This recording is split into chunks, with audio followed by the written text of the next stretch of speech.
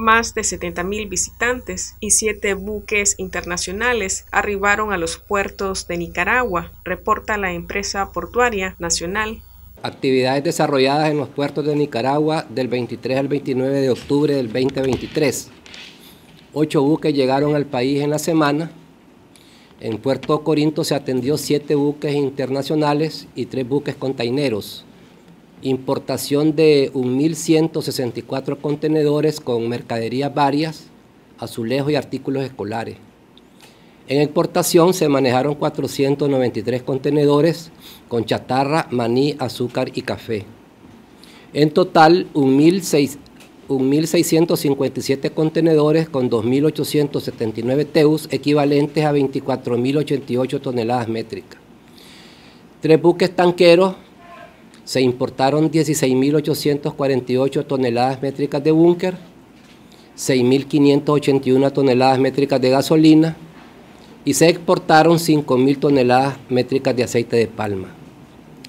En total la carga manejada fue de 28.429 toneladas métricas. Se atendió un buque granelero y se importaron 12.250 toneladas métricas de maíz, 12.139 toneladas métricas de harina de soya y 7.935 toneladas métricas de trigo.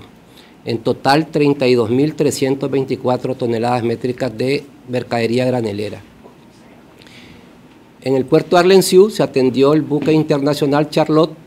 Se importaron 240 toneladas métricas de vehículos, abarrotes y equipos para gimnasio.